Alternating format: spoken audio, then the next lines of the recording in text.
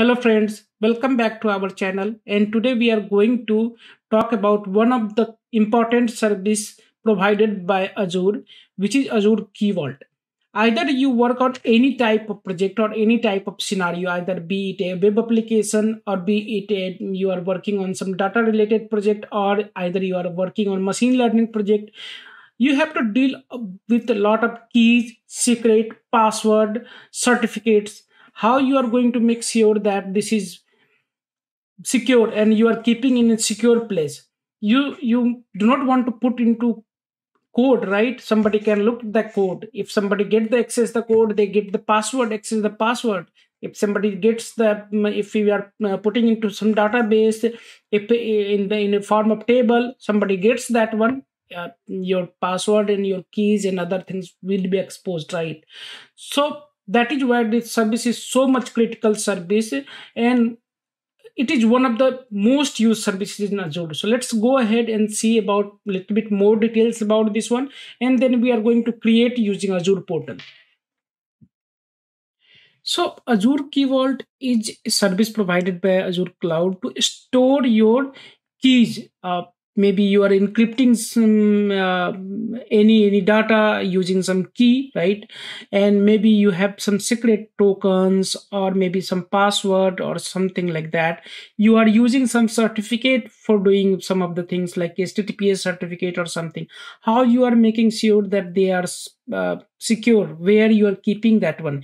You should not keep that into your code. You should not keep into your databases. You should not keep into your some files right? So you have to use some service where you are making sure that it's secure. And maybe you want to audit that one that who has access this one. Maybe you want to get some alert based on that one expiry date okay? Maybe you want to limit that access on that one that some only some people can access that one. So this is one service is going to um, give the all the benefit which we are talking about that one. So this service uh, solve a lot of problems like you have to manage your certificate key vaults um, secrets so all this we are going to see quickly. So azure key vault has two service tier. One is a standard where whatever a secret or token we are going to store in that one. It is going to be encrypted by a software key. If we are going with premier premium tier then uh, it is going to use a hard hsm protected key.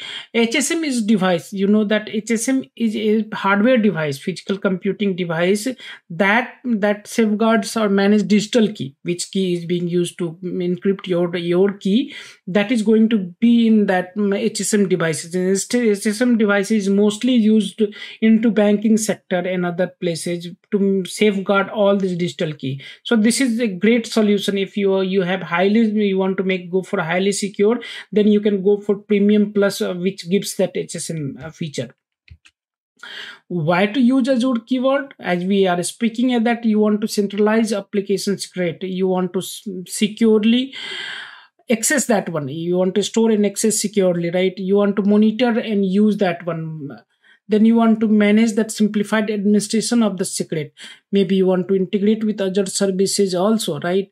So uh, you do not want to put a lot of different places all the secrets. So you can put in simple uh, central location and use that. But yeah you should not all your organization secret into one Key Vault. You might want to uh, go with application wise or you might want to go for team wise or whatever your uh, production secrets can be going to production related key vault pre-prod can go into pre-prod related secret component wise also can bifurcate it you can integrate with azure disk encryption. If you are encrypting any azure disk right if you are using in vm and encrypting that one you can leverage this feature this integration for that one. If you are working on sql services where you want to use td right to encryption doing some encryption then you can use that one.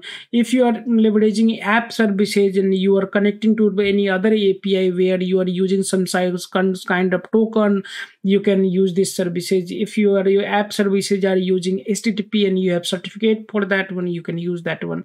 So you can use from arm template devops pipeline any places you want to use that one in in a data factory you can use that one. If you are connecting to third party anything where you are not using managed services identity you can leverage these services. So let's go and quickly create one uh, Vault and see how it looks like into portal.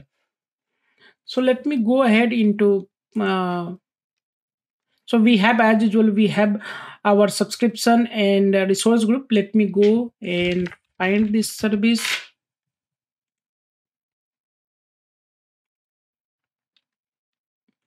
let me select my subscription resource group. Let me put that one.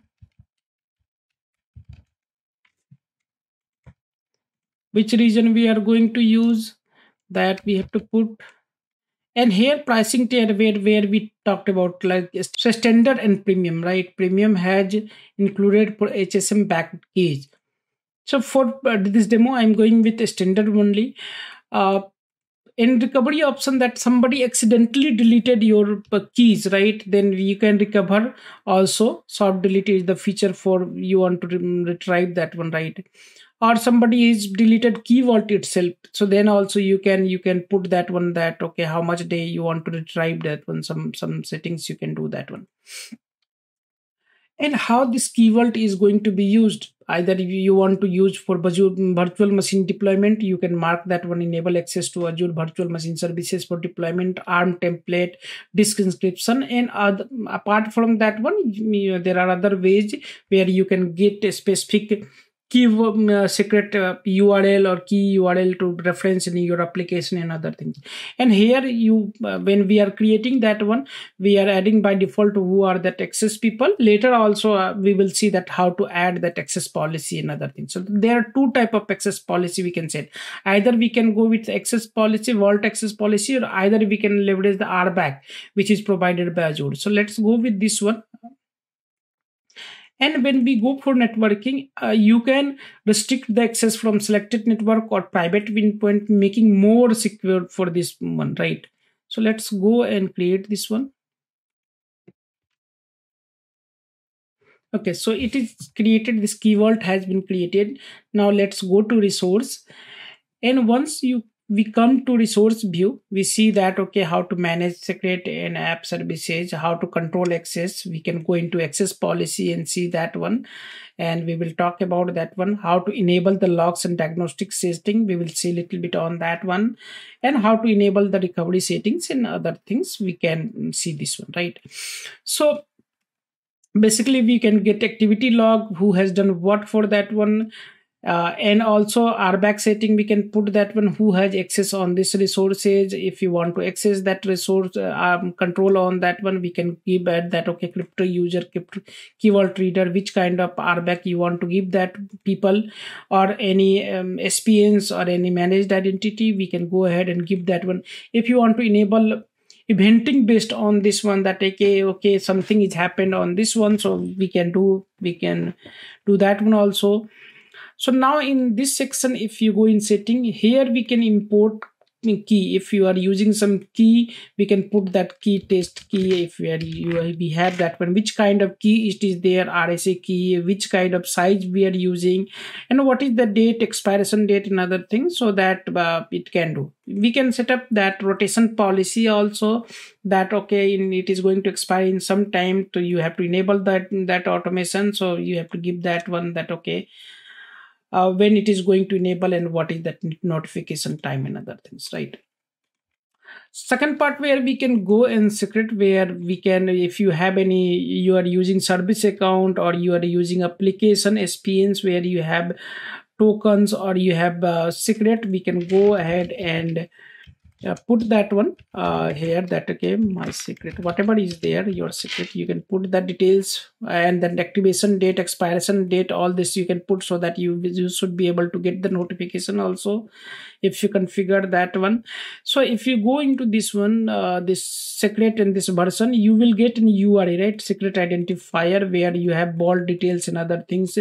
And this is the version of this uh, secret. So this is the name of secret this is the version of secret. There will be multiple there can be multiple version. So you are going to uh, reference this url into code and once you reference that url uh, your application or your uh, context user context had to be added into policy that uh, you are going to access. So which kind of access you have depending upon you are going to access. Either get permission set list update all this permission you can set depending upon mm, your requirement that okay somebody some application should only use the key management. Somebody some application should use that only secret management right?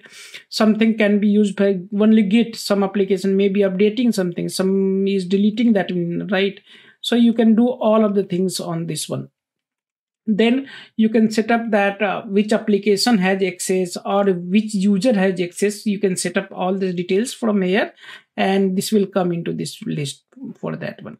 You can restrict from network also that from which network it is coming or which ipr it is allowed to access that one or uh, only from some private endpoint it is coming and you can mark that one okay allow trusted Microsoft service to bypass the firewall so that if you have deployed any code into azure app services uh, function app any other places you this will be not used on that cases so in the security, we we can enable the Microsoft Defender for Cloud. It will give that real-time uh, recommendation, or and it will also uh, reduce that exposure to network threat and other things. We can do that one also, and we can set up different kind of alerts based on this one.